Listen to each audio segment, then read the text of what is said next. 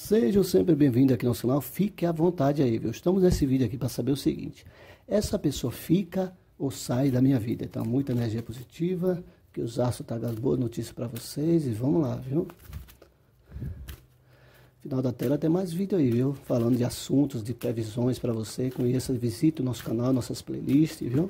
Então vamos lá, muita energia positiva.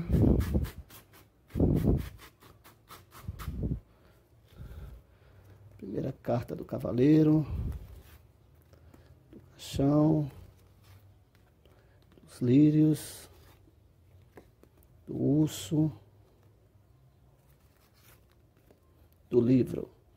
Olha, então a pergunta é o seguinte: essa pessoa fica ou sai da minha vida? Então as cartas aqui, ó, saiu cartas excelentes aí, viu? A carta dos lírios aqui, ela fala de aprofundamento, né? De relacionamento, paz interior. Então, essa pessoa sente muito bem ao seu lado, né? É coisa de alma, é coisa profunda. Então, a pergunta é, né? essa pessoa fica ou sai da minha vida? Fica sim, viu? Com certeza, porque ó, a carta do mensageiro aqui, ó, do cavaleiro, ela fala de se for uma novidade especial que chegou para a vida dele, para ficar. Então, algo inesperado que ele nem esperava, depois de tantos relacionamentos complicado, assim, que ele teve, machucou-se muito, né?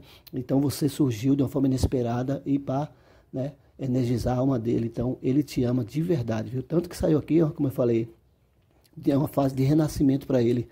A carta do caixão fala renascimento, renovação de ciclo. Então, para ele, né, ele está renascendo agora, né, nascendo novamente para o amor. E como eu falei, a carta dos lírios, né, fala de alma, equilíbrio na alma, né, na mente, é uma coisa de alma, profundeza assim de relacionamento. Então o que ele sente é profundo por você. Então essa pessoa quer ficar em sua vida, não quer sair. Só aqui, né, a carta aqui que pede cautela para você é a carta do urso. Nesse momento aí, né, aí pede para você um pouco de, né, de cautela em relação aos excessos em relação a você. Só você controlar um pouco o seu ciúme, viu? Para essa coisa e muito mais e melhor, né? Melhorar a sua vida para não afetar, viu? Então só cautela aí com ciúmes. E a carta do livro aqui ela fala de aprendizado.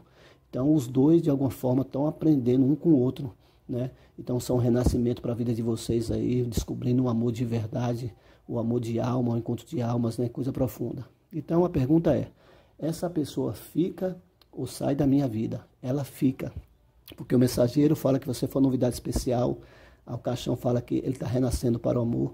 Os lírios fala que ele te ama de alma, do fundo da alma dele.